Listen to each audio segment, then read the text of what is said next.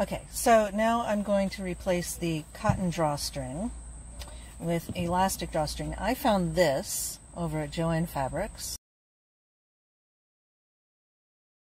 It's the perfect length. The only difference is it's not pink, it's white. Um, the uh, circumference is the exact same size as the elastic drawstrings that are in all the Bloch shoes that have elastic drawstrings. Okay, so first thing I do is I make sure that it's not tied at all. Okay, and then I just pick an end and I yank it out.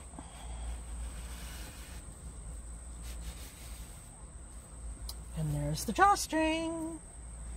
By the way, we're in the car today because my darling daughter has a lot of classes. And this is what I do when I'm just sitting around waiting for her in between classes.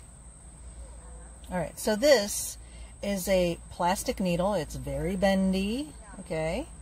Wow. It has a large head. It has a blunt, fairly blunt tip. focus. There we go. And this one's been used a few times, so it's a little it's a little bent up and bruised and so forth. But anyway, you need uh, something that is flexible, something with a blunt tip, and something that has a large head in order to get this this elastic cord through. Okay. Uh, this one is for uh, sewing plastic canvas, and I also found these at Joann Fabrics. They come two in a pack, I believe.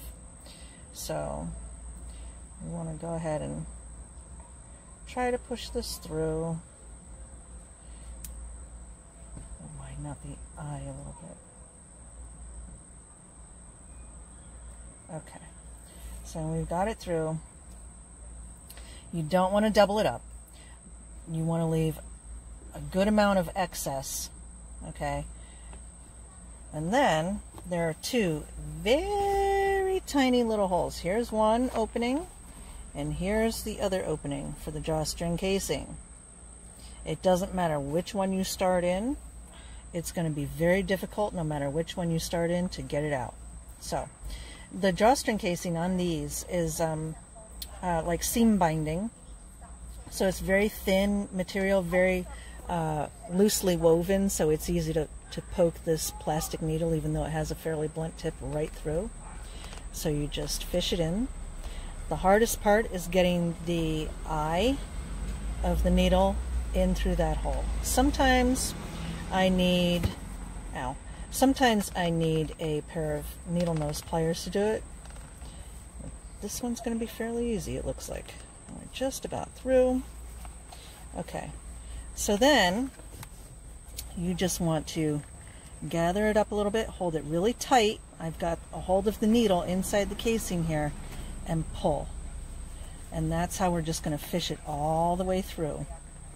Being sure that before we pull out our gathers that we haven't gone through the casing. And see? And it just continues right on through. Okay, so I don't know if you can see the tiny little blue tip is just starting to come through the other hole. They could if the camera would focus. There we go. All right. Okay, so I'm pushing this out of the way. And now we just have to fish it through and hopefully because we have some play here in the satin before the top of the box we don't pierce the satin now and we get it through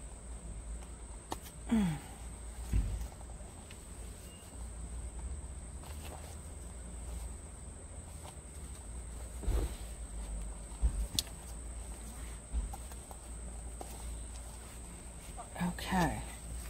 Now, again, getting the eye of the needle through this little hole can be quite difficult sometimes. All right. Do not, at this point, do not take the elastic out of the needle. Hold on to hold on to both pieces here. This is your tail end. This is the piece that is fished through. Hold on to both of them very tight because you see how this is all gathered up. I cannot sew the, the elastic and ribbons neatly with this all gathered up. So we need to pull and make sure there's a good length hanging out on both sides. I'm still not going to take this out, but I'm going to do my best to flatten all of this out as best I can before I take that needle out. If you take the needle out too soon, sometimes the elastic can all of a sudden snap back in there, and then you got to start all over. okay? All right, so as you can see, so my needle got pretty bent, especially going around the heel.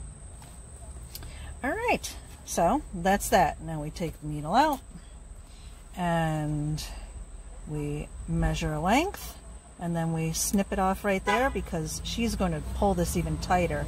So there will be about this much excess by the time she pulls it tight and ties it. So we're going to cut it right about there.